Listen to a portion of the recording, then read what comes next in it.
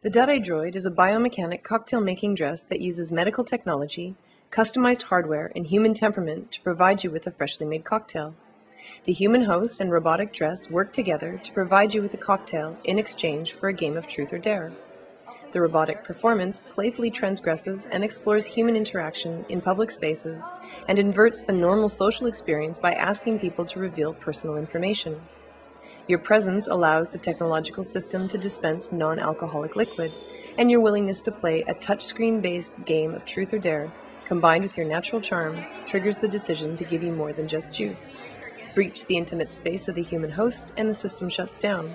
Play the game and be rewarded. Do you dare to play?